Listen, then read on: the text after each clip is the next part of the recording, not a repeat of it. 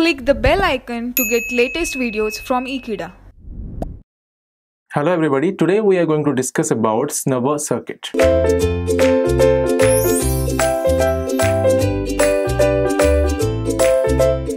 So friends, as we all discussed about the dV by dt triggering of a thyristor, so we came to know that because of dV by triggering, the thyristor undergoes unexpected triggering because of that the circuit conducts.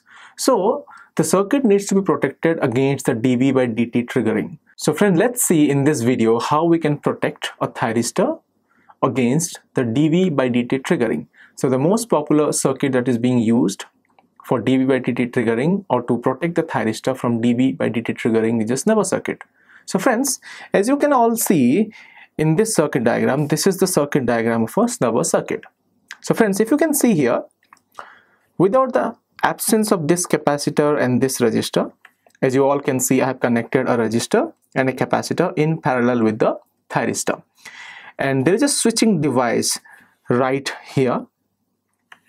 So whenever this switches opens and this closes, the voltage increases and voltage falls because this is called the switching voltage because of the switching voltage or we can say whenever there is a switching operation the voltage change with respect to time so there will be a dv by dt triggering so because of dv by dt triggering the thyristor is on it gets triggered automatically and the circuit conducts electricity and which needs to be avoided. So friends here if you can see I'm connecting a capacitor and a resistor in parallel with the thyristor.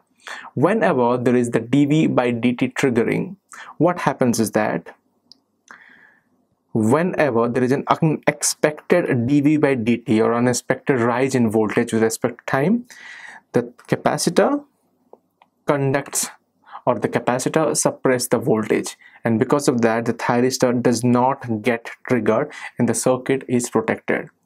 Whenever there is a dv by dt triggering the capacitor conducts and the power is dissipated across this resistor so friends this is the snubber circuit that we use to protect the thyristor from dv by dt triggering just by implementing a capacitor in parallel with the thyristor.